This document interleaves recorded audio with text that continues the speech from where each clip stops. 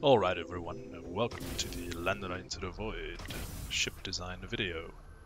In this video I will show you a little bit about designing your own spaceship. So let's make our way to the designer table. So here we can see the current ship we have and uh, it's time to build a new ship. So we start by selecting our hull type we have several hulls unlocked currently. Um, you can see the sizes of these hulls with the amount of tiles available and the hit points, and also how much it would cost to unlock them. So I think we'll go for the Locust because it has the most slots available. And of course you can also have bigger ships like frigates and cruisers, although currently we only have a couple of corvette hulls unlocked. And for the purpose of this demonstration, I've given myself a lot of money and some parts so we can show you the process, how it works. Alright, so let's start with uh, adding a cockpit to our hull. Of course, you've got to have somewhere to sit. And we should probably place it at the front, although some ships, if you have enough room, you can also place it, you know, in the back or any other place. Now, um, we should add some engines these, you know, go into the rear of the ship, usually.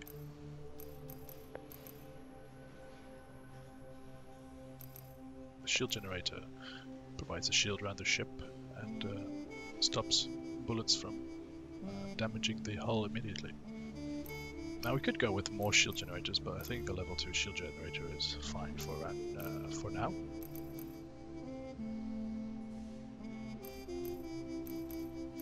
And let's add some guns to it.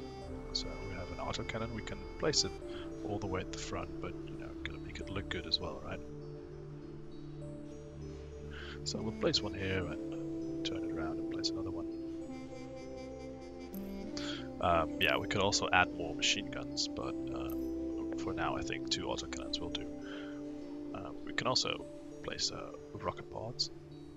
These provide some extra uh, firepower, although they do consume ammo, which is something we might have to take care of as well. Now, these rocket pods we can place uh, on either side, they're broadside facing guns. I think we could just go for one in each direction, so we have two sides we can fire from.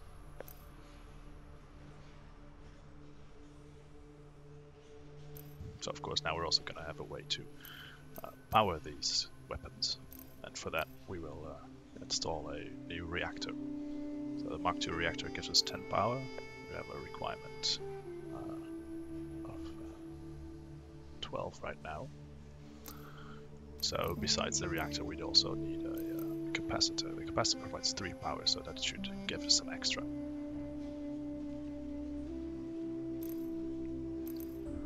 Now we're also going to need fuel and other things for other engines, although currently the ion engines don't really require fuel. And we need a way to enter the ship as well, of course, because, you know, how else are you going to go in this height? So we'll put a docking port up there. And we'll add some cargo storage to the ship as well. Now the cargo containers, we may need to access them, so we just place them down there, and we should have enough space to actually get to them. Uh, we'll also add a passenger seat for uh, any passengers we might want to bring. We could place it down there, but uh, we also need to have a way for uh, people to enter the cockpit, so we're going to have to leave some room for doors as well. Speaking of doors, let's add these right now. So, you know, we're going to walk from the uh, docking port into the cockpit. You need to have a way to access it, so we'll place two doors there.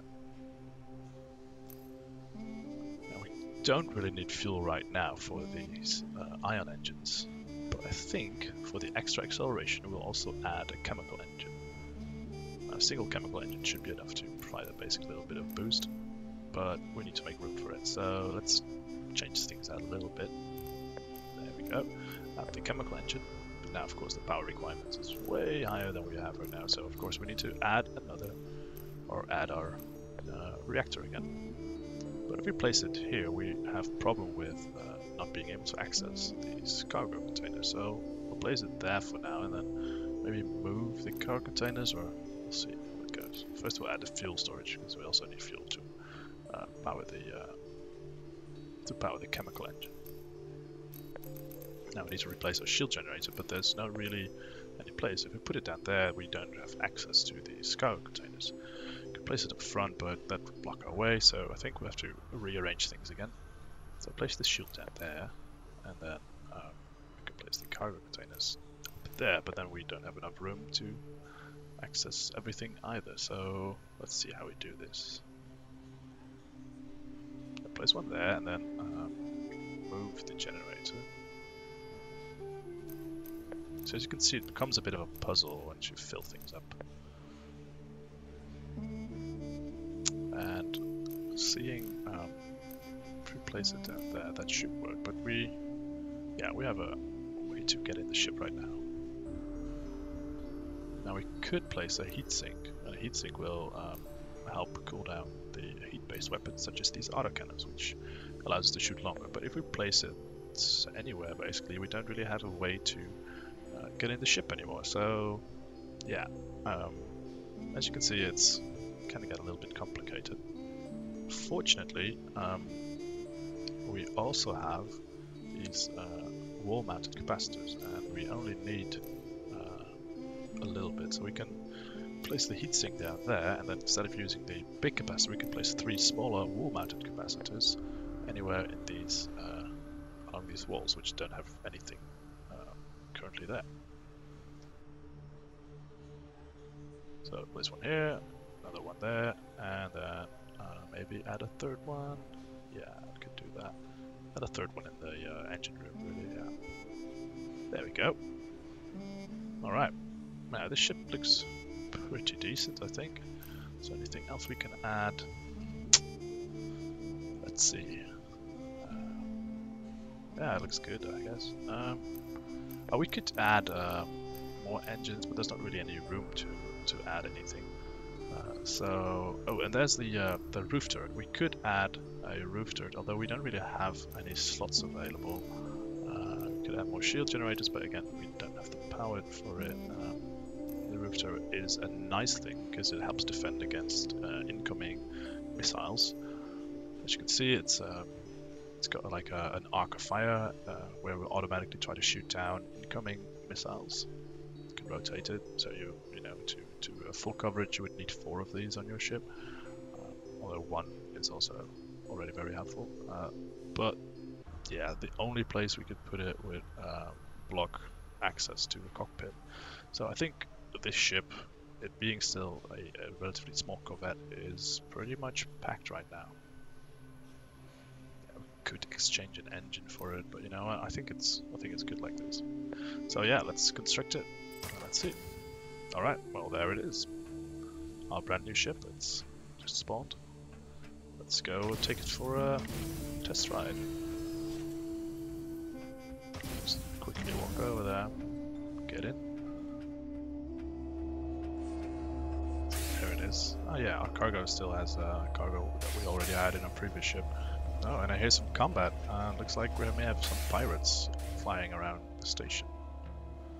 Okay, so let's wait for the ramp to retract. Ooh, there's fighting going on.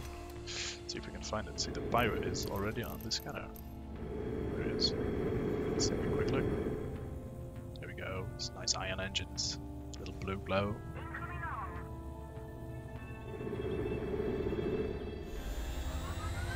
Let's see if we can do some fighting. Oh, looks like the cavalry has already already arrived. And ah, well, okay. Yeah, we're too late to do anything with it. But you know, ship seems to fly pretty well. And I think in the next video we will um, take a look at doing combat with this ship. Alright. Well, there we are. Thank you very much for watching and see you in the next video.